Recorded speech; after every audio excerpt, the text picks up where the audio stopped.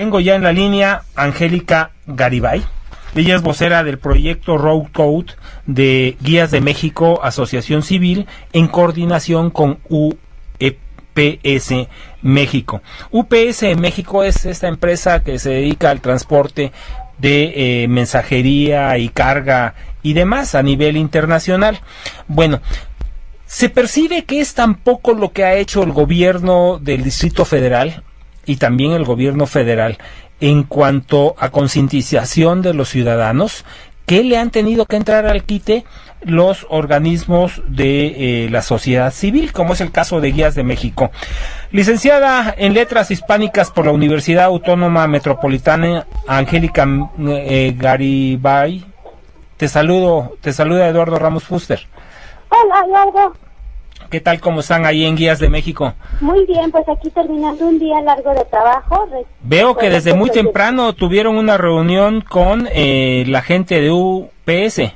Así es, tuvimos hoy la presentación de nuestro nuevo proyecto en alianza con la Fundación UPS y este proyecto se llama UPS Road and Es un proyecto que estamos implementando a partir del día de hoy para concientizar a los chicos sobre el manejo seguro sobre el manejo consciente.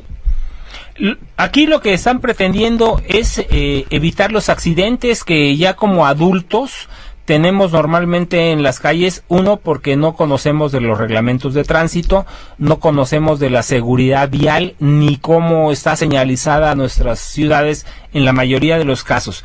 Esto que han coordinado ustedes con UPS en qué momento arranca y cuáles van a ser las formas y los programas que eh, han de implementar a fin de que los jóvenes y las jóvenes conozcan y hagan conciencia.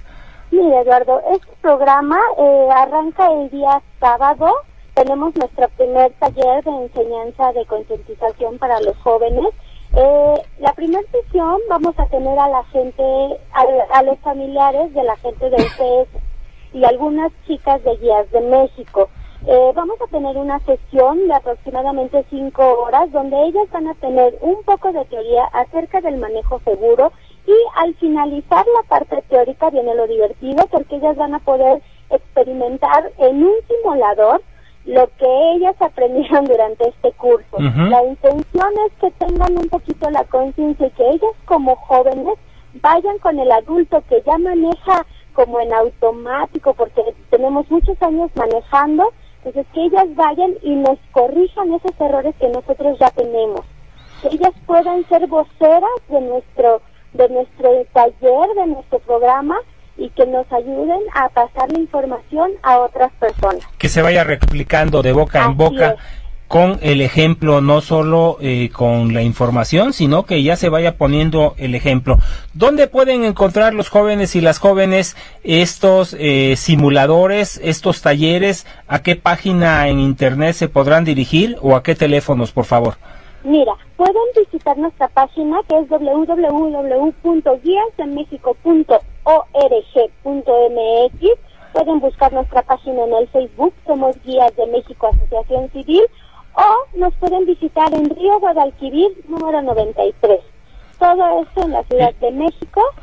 Allá en la colonia Cuauhtémoc, ¿no? Cerca del Ángel de la Independencia. Así es, estamos a dos calles de la colonia Cuauhtémoc. Nuestras sesiones van a ser los, los sábados por la mañana y me pueden mandar un correo electrónico para que yo les dé más información.